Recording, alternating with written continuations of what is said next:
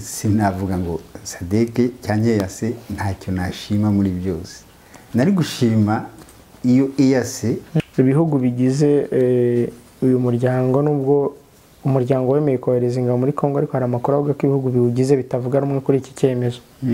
Namibiya niyo yonyine. Si ngombwa ko sadeke yagombye kuza. Bagombye kugikemura. Kubona sadeke ni nziza ni agasuzuguro gasuzuguwe nde? Gasuzuguye eyase igihugu kirimo shine ikibazo cyabo nti- ntinatabara ntabwo ijya mu ntambara shine kandi iri muri congo ikaba itatabara. Ntabwo itabara. Rega ni uko mutazi hari ahantu barwanira. Kiriya gihugu hari ahantu barwanira haragoye ku buryo kuhatsindira abantu bigoye. Muri iriya misozi. Hmm. ni igihugu kiri sitarategike ku buryo kugisangamo umuntu ngo umutsinde biragoye. M23 muri iriya misozi irayimenyereye. Gutsinda M23 ntabwo ari ibintu byoroshye. Iriya misozi iragoye kurwaniramo cyane sizi ko murizi ku buryo na FDL kuyimaramo ari bigoye kandi atambaraga ifite iyo habaye ibiganiro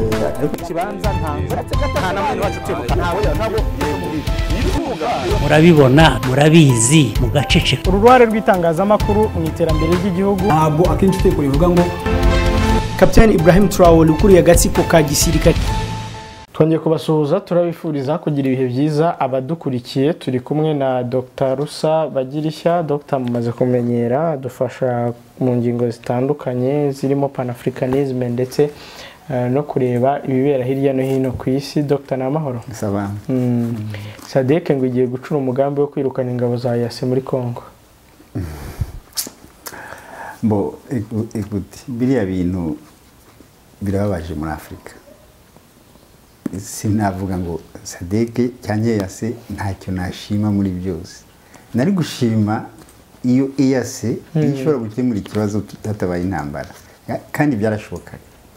Simbona ukuntu bavuga ngo ikibazo cyananiranye. Abantu b'abagabo bose bazi ubwenge bashyiraho amaraso ameneka. Niba sadeke igiye kwirukana yase nuko yase ntacyo yashoboye gukora. Ubundi niba yari kugikora mbere ya sadeke naho kongo iri, mu, mu ma integrasiyo abiri atandukanye ariko kongo yari umushyitsi wa yase bari kumwakira neza akaba ari bakemura kiriya kibazo. Ata amaraso amenetse. Ata amaraso amenetse. Rero iyo abanyafurika bari baricana gutya igiye bira- kuri siporo utabiranguye ntumbwire ngo uyu nguyu afite rezo ngo uyu ntafite rezo nta n'umwe ufite rezo umena amaraso mu bavandimwe nta n'umwe uvuga ngo uyu nguyu afite rezo reka yice. Nta n'umwe ufite rezo yo kwica. N'icyo kintu waki- wakirekaho kugira ngo umene amaraso ya mwene wanyu. N'icyo kintu uganira wakireka. Sinzi ntabwo banyumva benshi ndabizi. Ariko je préfère bashake bareke kunyumva ariko nta nzashyi- nzashyigikira amaraso ameneka mu bavandimwe bacu. Biragezeho birambiranye. Birambiranye ko twicana hagati yacu. Hari hageze ko abanyafurika babirambirwa. Ukemerwa ukemera ugahomba ukabaho uko ubayeho ariko utamenya amaraso ya mwene wanyu. Mm. ubu sadeki iri nziza kubera iki? Ni ukubera abona byananiranye. Iyo siza ije- ntije kuyamena. Ntayije kuyamenya none se wabishima ni cyo nkubwira ntabwo. Ntacyo gushima kirimo. Icyo nari gushima ni uko intambara ihagarara. Ntihagire amaraso asubira kumeneka. Ibyo bavuga ngo turayihagarika kubera ibi n'ibi n'ibi n'ibi bagashaka bakabireka bakabyumvikana ukundi. Bakabyumvikana ukundi ariko ata maraso ariko arameneka. Dore nk'ubu ku cyumweru cya nyuma eh, cy'uku kwezi kwa gatanu iyi ndoke muri namibiya hazateranira inama ku murongo w'ibyigwa harimo kurebera hamwe ko ingabo za yase ziri muri congo zavanwayo na gahunda yo kugena ingengo y'imari y'ingabo za sadek zizasimburayo izo ngizo. Ese ninde ubahemba bariya bantu? Ubundi nta nta ngengo y'imari izwi ya east africa kuri iyi gahunda iri muri congo. Ntayo ari kubaho ko ntabwo byari perevi ariko sadek yo iravuga ko nyine bazagena ingengo y'imari. Yabo Eh. atari ko ngo izabahemba eh, ari ibihugu bya sadek yego. Mm. biranakize. Ok ayo mafaranga n'amafaranga yose apfa ubusa. Yakagombye gukora ikindi muri development y'igihugu. Atagombye kujya mu ntambara mu maraso. Hari abantu benshi bari kwibaza eh, niba sadek izaza cyangwa itazaza kubera ko ibihugu bigize eh, uyu muryango nubwo umuryango wemeye kohereza ingabo muri congo ariko hari amakuru avuga ko ibihugu biwugize bitavuga rumwe kuri iki cyemezo. Namibiya niyo yonyine bivugwa ko ishyigikiye gahunda yo kohereza ingabo muri congo. Bashobora gutaza bose kuko n'igihe muri demilitarize ntibyaje byose. Rega n'ibihugu cumi na bitandatu ntabwo byaza byose. Ariko ibyo ni ibisanzwe na- na- na otani hari igihe bitagenda. Eh, ariko icyo si na cyo kibazo. Ikibazo ahubwo ni cyo kibazo ni ikibazo cy'iyo ntambara idahagarara. Niyo probleme rero na eyase ntiyagombye kwi- kwirukanwa ahubwo yagombye gukemura ikibazo mbere y'uko yirukanwa. Ariko byaragaragara ko nta kizakemura. Gukemura ikibazo kwayo kwari kubanza kwirukana munisiko ariko n'ubu ugiye gukorana na munisiko barakora n'ikintu cyananiwe bo barabishobora se? Barabona ko munisiko ariko simbona igituma mwese bakabona. Buriya ntabwo eyasi ibona ko munisiko nta kimaze hariya. Nta kimaze ariko ifite icyo yonone kuko ifite ibyo ihagarariye. Ntabwo bari kwemera gukorana na yo ye kuva bemeye gukorana na yo ni ho nahise mbona ko ntacyo bazashobora urakorana n'umuntu wananiwe ni ukuvuga uragendera muri linye ye. Mwese munananirwa. Na sadeke simbona igituma igisiza. Yakagombye kubabwira bati nimukureho munesiko mukemure ikibazo hanyuma natwe. Si ngombwa ko sadeke yagombye kuza. Bagombye kugikemura. Kubona sadeke ni nziza ni agasuzuguro gasuzuguwe nde? Gasuzuguye yasi. Ntabwo sadeke yasi nuko ko inaniwe ya- yasi yasi ina- inaniwe kugira ngo sadeke iri nziza. Na monesiko buriya yarasuzuguye ko yasi yagiye monesiko ihari yari kubanza ikayirukana ni cyo gituma sadeke ivuga ati yasi nibanze have kwitavuga se ngo na monisco nibanze hano Huya ni cya kibazo nakubwiye. Ubundi eh, sadeke si yari kwirukana monesiko ko monesiko iri, iri, iri hariya nka eyase nka niba kongo yagiye muri eyase ni ukuvuga yuko hari icyo yashimye muri eyase. Petetere kitakozwe na sadeke bagombye kuyibereka rero icyo barusha sadeke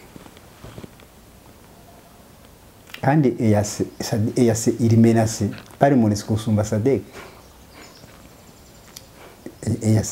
urabona sadeki ni- iri muri sud eyasi iri muri gararac niyo yagombye kugira eyasi niyo yagombye kugira ikibazo kuri monesco. Mbere mbere yuko sadeki kigira.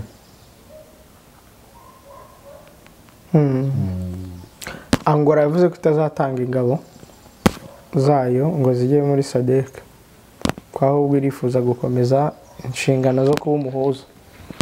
Urumva nyine ni si- si sangura gusa. Na tanzania ishobora kutazitanga. Botswana na zimbabwe byareruye bivuga ko bitazigera bigira ingabo bitanga. Tanzania afurika y'epfo na malawi byo bizifashisha ingabo bisanganywe zi- zirasanzwe zihari.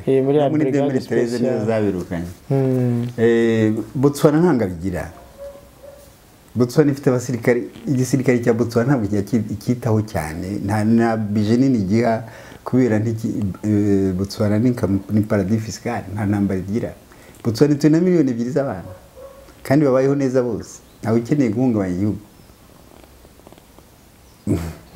Uzatembere muri botswana urebe na perezida wabo nta sekirite agira ikanganye ntabwo bakumva violence muri botswana. Rero ibyo bintu igisirikare cyabo nta mbaraga bagishyiramo. Imbaraga bazishyize muri asinyuma no muri sante ni igihugu kijya kwitwara nka suisse. Kandi nka luxembourg. Ni igihugu kimeze neza cyane ariko ukigezemo ntiwamenya ko kiri muri afurika gifite inyamaswa nziza. Ugeze muri botswana ntiwahava rero kukijyana mu ntambara bariko barakigora ko nta gihugu kizatera botswana. Bo batera miliyoni ebyiri z'abantu kandi igihugu kinini margaretum ni 500 km kare Mm. ariko ok. Pari 70 ni desert do karahari Dr ibi bihugu bya sadek na ese urabona ibyo byakora byose n'ubundi hari umuti bifite kuri ibi bibazo? Ntawo umuti birashoboka ko biriya bihugu bya sadek naho haza bigifite imbaraga birashobora gu- gutsinda eh, birashobora gutsinda M23 ariko ntabwo bizaba bikemuye ikibazo ko bishobora kuyitsinda tampure ari akanya gatoya. Rega nuko mutazi hari ahantu barwanira. Kiriya gihugu hari ahantu barwanira haragoye ku buryo kuhatsindira abantu bigoye. Muri iriya misozi. Hmm. ni igihugu kiri strategique ku buryo kugisangamo umuntu ngo umutsinde biragoye. M23 iriya misozi irayimenyereye. Gutsinda M23 ntabwo ari ibintu byoroshye. Iriya misozi iragoye kurwaniramo cyane sizi ko murizi ku buryo na FDL kuyimaramo bigoye kandi atambaraga ifite rero sinzi amaherezo ya biriya bintu reka tujye inyuma gato y'ibi tubona tujye muri puissance zibyihishe inyuma. Ari abashinwa bivugwa ko bahari ari abanyamerika barahari abanyaturikiya barahari. Bisa nk'aho ibihugu byose byirunze muri congo. Bi- birahari ariko ntabwo bihari muri muri meme muri meme angle muri meme eh, ideology muri meme politique igihugu igihugu kirimo shine ikibazo cyabo nti- ntinatabara. Ntabwo ijya mu ntambara shine kandi iri muri congo ikaba itatabara. Ntabwo itabara. No muri centre afrique yari ihari ntabwo itabara nti- ntijya mu ntambara muri shine muri constitution yabo eh, ntabwo bajya mu ntambara zo hanze. Niko bameze. Nicyo ni cyo barusha abandi. Ntabwo bazagutabara. Naho abandi baratera. Baragutera bakagu- bakagukuraho bagashyiraho bashaka. Niyo diferanse rero abanyafurika bakwiye kureba ibindi bihugu biriyo? Nk'ubwo burusiya ngo bufitiye vagineri reba uburusiya bwo buratabara nka kuriya batabaye mari yego. Eh, na turiki ishobora guha intwaro. Ngira ngo yo yaranazizanye Eh, ariko ibyo byose ikintu cyaba cyiza ni uko igihugu cyakemurwa na bene cyo. Niba uburusiya butabara kuki kugeza ubu utaratabara kongo kandi ukunda kutubwira ko ari igihugu gishishikajwe n'uko ogisida yava muri afurika ntabwo ubu ngubu ntiwajija ntabwo ntabwo priorite ari kongo kuko kongo biriya bihugu par exemple bya centre afrique na mm, za mali za- urabona ko situation yari ikanganye par rapport ya kongo ahubwo mbona kongo ariho bikanganye cyane oya ubu ngubu ni muri n'ubu ntibiramera nk'uko byari bimeze hariya nta base militaire n'imwe yo hanze iri muri congo. Nta base militaire ya amerika ihari nta base militaire ya france ihari uburusiya bwahereye ahantu hari amabaze militaire y'abandi Petetre bushobora gutabara gabo gusumba congo Eh, na centre afrique nta- na plutôt na braza ntayihari Eh, rero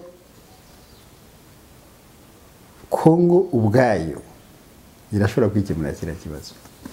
Dr ubu koko abanyekongo ntibabizi ibyo bintu n'imyaka yose bamaze igihugu kimeze kuri ariko urebe ukuntu byari bimeze mbere siko bimeze uyu munsi? Ntabwo kongo ari bwagira indege z'intambara nk'uyu munsi zifite. Ubu hari ibintu bi- byinshi biri birahinduka. Erega ibintu birahinduka ntibigume uko byahoze. Ibyo ngibyo ni ibintu bisanzwe ni evolution ibaho ntabwo rero kongo izaguma kuri ibi. Hariho de generasiyo ziza zitekereza ukundi ku ruhande rumwe baratubwira uti ventura gupfa kuyitsindira muri ya misozi ntabwo birakomeye bi- eh, ntabwo byoroshye. Ku rundi ruhande ukatubwira uti kongo yakikemurira ikibazo. Oya simvuze kuyitsindira kuri iriya misozi iriya misozi iragoye pe ni strategique ariko we ventura n'abakongore nk'abandi bakongore. Baza barwana n'abandi bakongore. Nka kuriya muri afghanistan. Afghanistan bazi ngo yananiranye kubera iki? Ni imisozi ariko bene yo bazi barayimetiriza na kongo ni imisozi ya kongo. Ntabwo mvuze ko abantu barwanya mu ventura atari abakongore ni abakongore nabo. Iyo misozi ntibayivukiyemo nabo. Si cyo kimwe n'uko haza ingabo zo hanze. Kuki se abantu bagifata nk'ikibazo cyoroshye niba bafite umuti wakoze bibiri na cumi na gatatu baka- bakaba batari kuwukoresha. Ibyo nakubwiye. Biriya bintu byo mu- byo muri bibiri na cumi na gatatu ntabwo ari solution. Ntabwo ari solution na yo. Ariko birasa nkaho ari- na yo ishobora kwifashishwa niba sadek iri kuvuga ngo Eh, bi- ariko ni byo nakubwiye ntabwo izaba ari solution. None se nka bibiri na cumi na gatatu ukuntu byagenze. Baratsinzwe sevure nta n'ibyumweru bibiri barwanya ariko bene bariya bantu yo kuvuga ati tubaye tugiye baragiye baragaruka none si ibyo ngo byaba bimaze iki birakenewe yuko haba ini solution definitive. iyo solution definitive ntabwo izava ahandi ubu rero turi kuvugana umugaba mushya w'ingabo z'umuryango wa afurika y'uburasirazuba umwe wasimbuye nyaga yatangiye imirimo ye. Uriya nawe bariya nawe yitwa yitwa general Ki- kiyugu.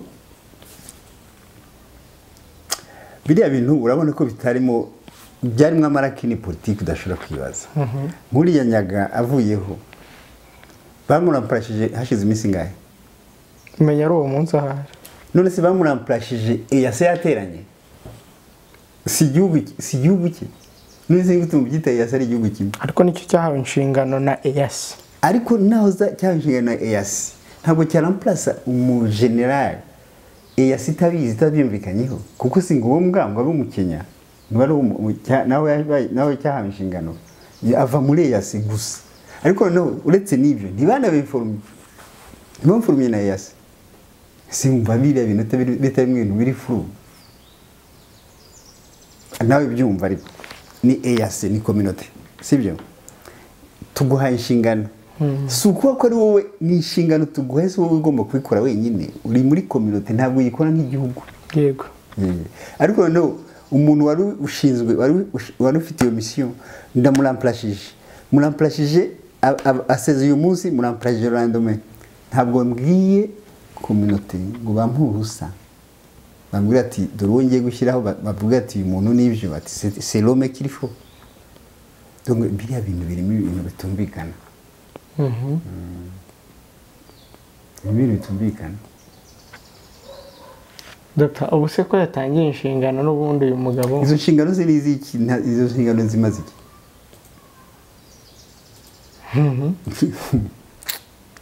noneho byarantangaje ngo ntibashaka no kuvayo aba eyasi ngira ngo ngo- ntabwo tuzava hano ibyo twagishatse twaje gukora bitarangiye bitaniye se no kuvuga ngo nzanye base militaire gucungira sécurité nashaka ko mutaha ntimutahe muri abafaransa mwe muraza mu gihugu cy'abandi ahubwo ati nimutahe ngo ya. Ibintu byo sinzi ukuntu mubibona mwebwe biriya bintu ni ibintu biteye isoni uyu mujenerali ahubwo yatangiye general kiyugu yatangiye avuga ko abona ko izi ngabo zakoze neza kuko zitarwanye n'inyeshyamba za M23. None si ibyo mumva ari ibiki mwebwe biragoye ko njyewe simbyumva mwebwe sinzi ukuntu mubyumva ariko ubundi ni ibintu biteye isoni mu banyafurika. Deja biteye n'isoni kubona bananirwa gukemura ikibazo cy'igihugu baturanye. Biteye n'isoni kubona munesiko iba hariya ntibayi- ntibayisezerere. Uzi ko ibintu uvuze mu kanya? Perezida Tshisekedi ari muri botswana. Yaravuze ngo general jeff nyaga yeguye mu buryo butangaje. Ndetse anenga kenya guhita ako kanya igena undi ugomba kumusimbura. Nta kubiganiraho na congo nk'aho uyu mutwe w'ingabo ari uwa kenya wonyine. Si ibyo nababwiraga si biranshimije ko n'abandi babyumva. Oya biteye isoni wagira ngo babwira abantu b'abana wagira ngo turi abana babwira ibyo bashaka. Bajye bareke kubivuga bareke kutubwira. Babikore uko bashaka bareke kutubwira. Nta sansi bifite. Nta sansi bifite. Wagira ngo ni abana bo mu mwaka wa mbere barakora ibintu uko bashaka. Nta sansi bifite biriya bintu. Igihugu gi- igihugu daboro Ke- eh, kongo yagombye kuba informe na yasi yagombye kuba informe ko muraza mu gihugu cyanjye muraza mu gihugu kiri souverain biteye isoni ahubwo sinzi abapolitisiye bacu ibintu babamo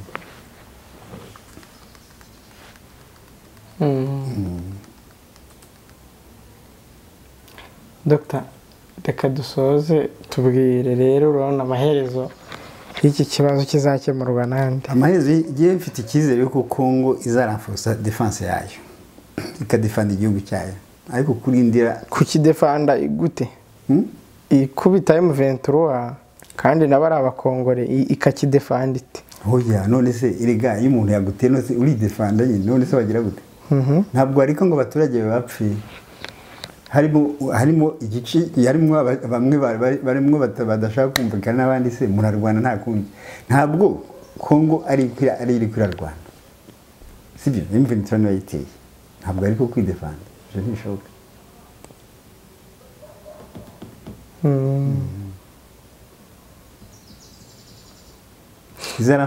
iza- nzi ko izaramfurusa defanse yayo igashobora kwihagararaho. Naho ubundi naho iyo sadeke yaza naho iyase yaza babikemura ku buryo batabishaka kuko ni nkaho batabishaka ntabwo ntabwo kongo yagira amahoro. Ubundi igihugu kigomba kugira amahoro ko kiyihaye utahawe n'abandi hari abajya bavuga ko iyi ntambara iri telekomande kandi ko ufite telekomande ari we uzakanda kuri telekomande ikarangira.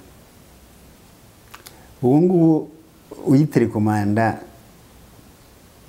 ari we uyirangije azayirangiza ibyo ari byose mu kuyitelekomanda afite icyo ashaka afite inyungu ze. Igihe atarazibona biragoye igihe yayihagarika kubera abonye yananiwe na byo ni ibindi. Ariko ibyiza uri ko arayitelekomanda ni uko atsindwa nyine n'igihugu ariko aranje arajena. Ni uko atsindwa na kongo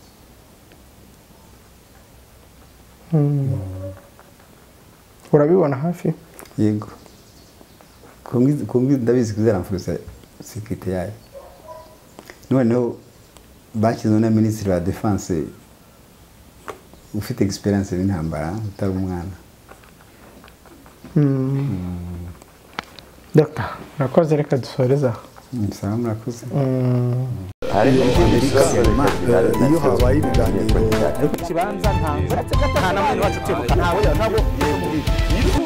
murabibona murabizi mugaceceka. Uru ruhare rw'itangazamakuru mu iterambere ry'igihugu. Ntabwo akenshi uteko rivuga ngo kapitani ibrahim traore ukuriye agatsiko ka gisirikare.